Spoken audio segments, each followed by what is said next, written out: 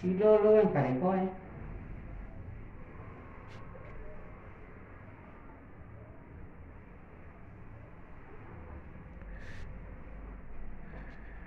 Y pues amigos, así queda ya.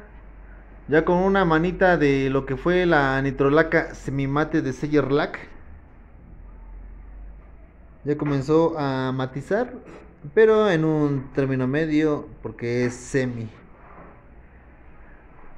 Pero prácticamente esto así queda y pues se ve espectacular.